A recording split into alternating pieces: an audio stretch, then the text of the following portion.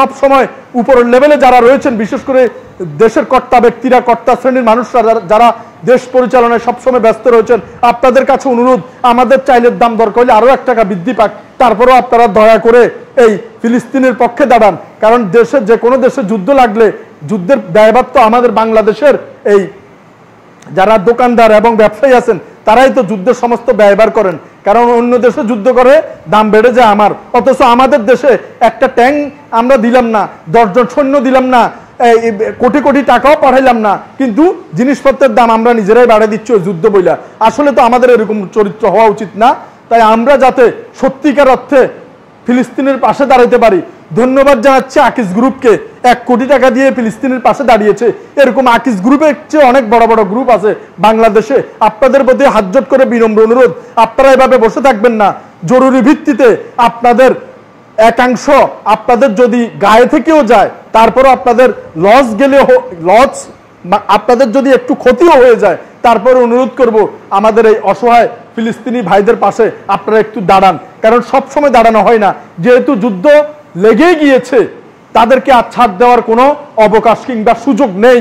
যদি আমাদের যাওয়ার মতো কোনো ক্ষমতা থাকতো, এই মসজিদে দাঁড়িয়ে বলছি, আমরা আমাদের সদস্যদের সহ নিয়ে আমরাই কাফেলা করে চলে যেতাম। কি যেতাম না আমরা?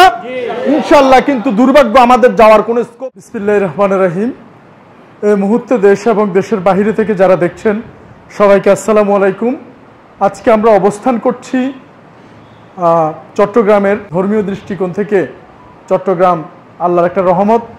এই বারাউলিয়ার দেশ এবং ইসলামীর একটা আবহর জায়গা হচ্ছে আমাদের এই চট্টগ্রাম। এই চট্টগ্রাম থেকে অসংখ্য মুসল্লি অসংখ্য দিন, দিনের খেদমতকারী ভাই, অসংখ্য মা বোনেরা আজকে দাঁড়িয়েছি কেন আপনারা দেখতে পাচ্ছেন যে ফিলিস্তিনির যে বিষয়টা, ফিলিস্তিনির উপর যে আগ্রাসন, ইসরায়েলের দখলদারিত্ব, তাদের যে অমানবিক আচরণ, সারা পৃথিবীর মধ্যে এক বর্বর অমানবিক জাতি হিসাবে একমাত্র ইসরায়েল এখনও বুক ফুলিয়ে দাঁড়িয়ে আছে। আমরা সারা পৃথিবীতে দুশো কোটি মুসলমান যদি থুতু ফেলি, তারা চলে যাওয়ার কথা। কিন্তু দুর্ভাগ্য আমাদের, ইসলাম এবং আমাদের এই কমজোরির কারণে, আমাদের মধ্যে কতটুকু ইসলাম আছে, ইসলাম আমরা কতটুকু ধারণ করছি, আমাদের কমজোরির কারণে আজকে তারা বুক ফুলিয়ে এখনও দাঁড়িয়ে আছে। অথচ তারা এতক্ষণ পর্যন্ত দাঁড়িয়ে থাকার কথা নয়। বারবার তারা এসে যে অমানবিক আচরণ করছে, গত কালকের যে বিষয়টি দেখলাম, মাত্র ভূমিষ্ঠ হওয়া, সদ্য ভূমিষ্ঠ হওয়া গুলি লেগেছে সেই ছোট্ট শিশুর গায়ে এবং সেই শিশুটি, সদ্য ভূমিষ্ঠ হওয়া শিশুটি নিথর হয়ে গিয়েছে। এর চেয়ে বড় দুঃখের আফসোসের আর কি হতে পারে? কিন্তু আমরা সবাই আসলে নিজেরা নিজেদেরকে নিয়ে ব্যস্ত। ব্যস্ত কীরকম? যখনই ফিলিস্তিনের দুঃসংবাদ আমরা শুনি, তখনই আমরা এরকম একটা দোয়া মাহফিল করে মুনাজাত করে আল্লাহ আল্লাহ ফিলিস্তিনিকে রক্ষা করুন, ইসরায়েলকে ধ্বংস করুন। মুনাজাত করে শেষ। আল্লাহ বলছে, তোমরা দোয়া করো, দোয়ার পাশাপাশি চেষ্টাও করো। আমি যদি পরীক্ষা না দিয়ে আল্লাহ আল্লাহ করি ঘরের মধ্যে শুয়ে থাকি, তাহলে কি পাশ করব? আমি যদি মসজিদে না আসে, মাদ্রাসায় না আসে, হাফিজি তালিম যদি না নেই, আমি বাসায় শুয়ে থাকলে কি হাফিজি শিখতে পারব? তো এরকম দোয়াও করতে হবে, দোয়ার পাশাপাশি চেষ্টাও করতে হবে। আমাদের কোনো চেষ্টা নাই। আমাদের সবাই দোয়া করি, আমরা শেষ। এজন্য একজন প্রফেসর বাংলাদেশের, উনি খুব দুঃখ করে বলছে একজন প্রফেসর ডাক্তার নামটা আমার এই মুহূর্তে স্মরণ আসছে। উনি বলছেন যে আমাদের সারা পৃথিবীতে আমরা দুইশো কোটি মুসলমান এখনও বসে বসে আবাবিল পাখির অপেক্ষা করছি। যে আবাবিল পাখি আসবে, পাথর নিক্ষেপ করবে, মাত্র আশি লাখ ইহুদি ধ্বংস হবে। উনি বলছে যে আবাবিল পাখি এসে প্রথমে আমাদের মুসলমানের উপর পাথর নিক্ষেপ করবে যাতে আগে আমরা ধ্বংস হয়ে যাই। কারণ আমাদের ইমানের কমজোরি এবং দুর্বলতা এত বেশি আকার ধারণ করছে যেটা বলার বাহিরে।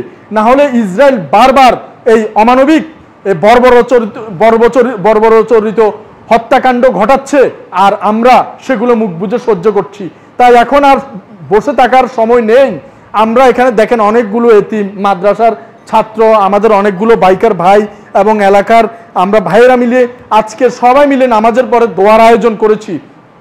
আমাদের এদিকে ইসমাইল ভাই ইসমাইল ভাই আছে ওনারা চেষ্টা করছে কি করবে, কোন দিকে যাবে? আসলে আমাদের দুঃখ এবং দুর্ভাগ্য যে আমরা দোয়া পর্যন্ত সীমাবদ্ধ। দোয়ার বাইরে যদি আমাদের কিছু করার থাকে, আমরা সে চেষ্টা করতে হবে। আমি এটা আমার ব্যক্তিগত একটি মতামত সবার সাথে শেয়ার করছি।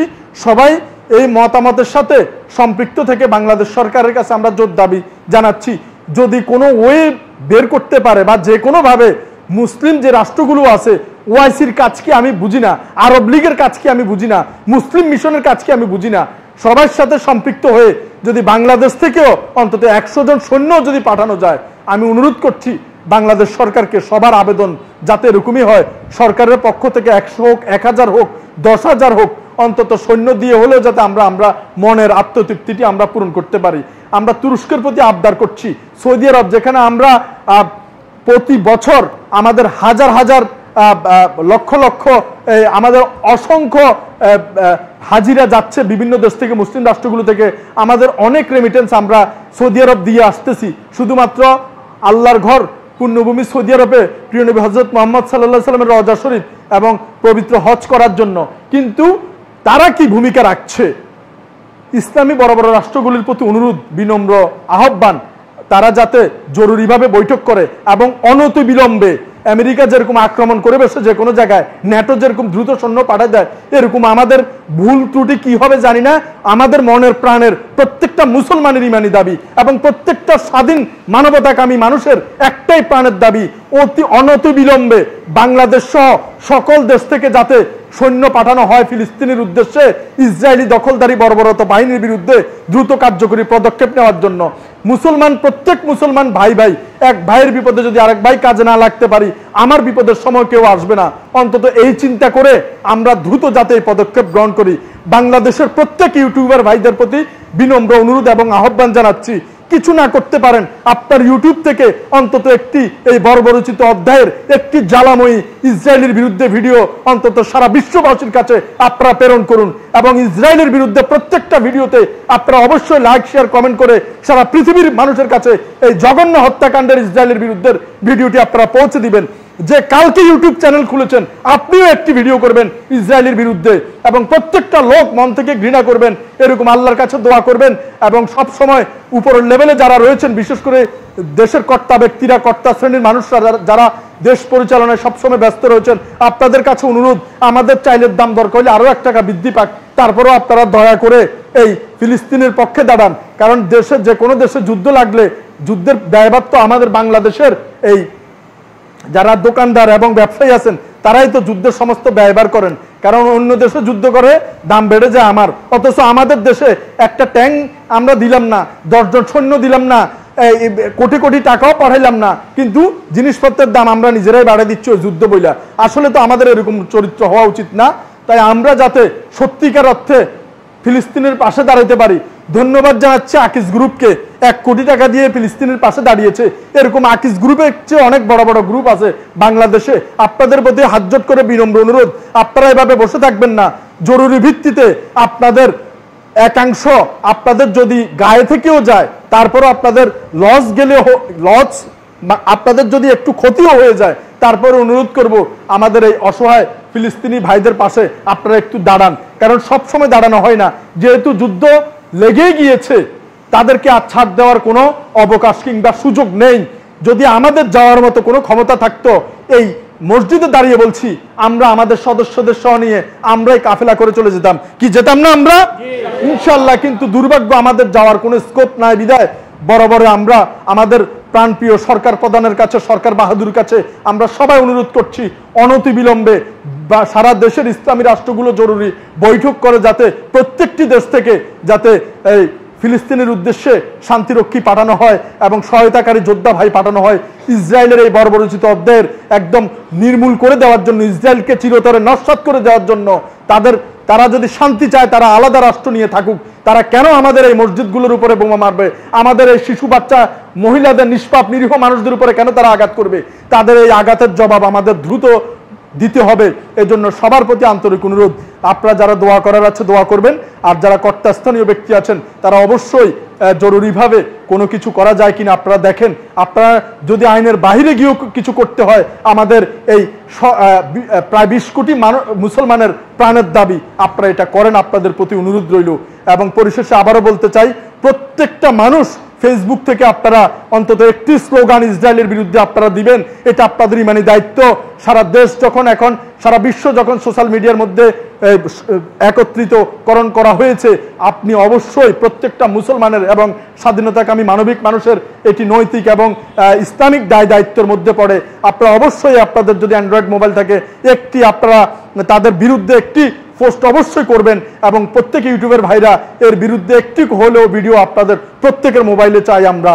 এবং প্রত্যেকে আমরা ইসরায়েলকে বয়কট করব যে যেভাবে পারি, ইসরায়েলকে দমানোর জন্য যার যেরকম যুক্তি, যেরকম অবস্থা, যেরকম ব্যবস্থা যেরকম সুযোগ রয়েছে, সবগুলো আপনাদেরকে ব্যবহার করার অনুরোধ জানাচ্ছি।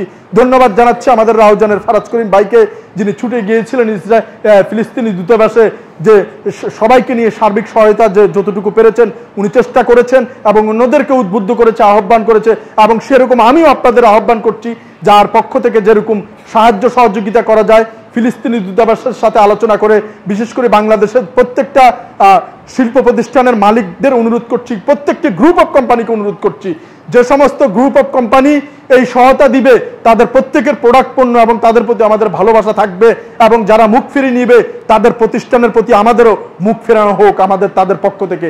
এজন্য আমরা সবাই যাতে ফিলিস্তিনের পক্ষ থেকে যার যতটুকু যেভাবে সাধ্য আছে, চেষ্টা করি আমরা। আল্লাহ তালা আমাদেরকে, এই মুসলমান ভাইদেরকে সহায়তার এই নিয়ামক কাল এই এই যে পুরস্কার আগামী হাসরের মাঠে যেটা আমাদের জন্য অপেক্ষা করছে, সেখানেই আমরা পাবো এই পুরস্কার আমাদের ভালোবাসার ব্যক্তিত্বের বন্ধনের উপহারের স্বরূপ। ইনশাল্লাহ সবাই ফিলিস্তিনের জন্য দোয়া করবেন। আমাদের ইমাম সাহেব রয়েছে, এখন দোয়া হবে। ইনশাল্লাহ যার যার জায়গা থেকে আমরা এই গণ হত্যাকারী বর্বরচিত এবং এই জঘন্য একটি রাষ্ট্র যারা জোর করে ফিলিস্তিনির ভূখণ্ড দখল করে এই মাতাব্বরি করছে এবং গাদ্দারি করছে, এই গাদ্দারের যাতে গাদ্দারে দ্রুত নিপাত হয়, এজন্য সবার প্রতি আহ্বান রেখে দোয়া প্রার্থী, সালাম আলাইকুম রহমতুল্লাহ বরাকাতুহু।